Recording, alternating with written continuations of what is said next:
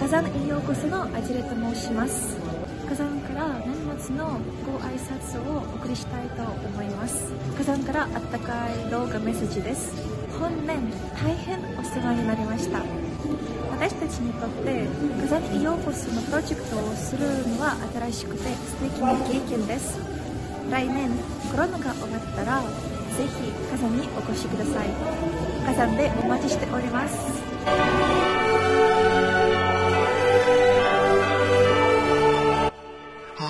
はーい、こんにちは。風間横そのゆりやと申します。皆さん、本年はお世話になりました。来年、火山にお越しください。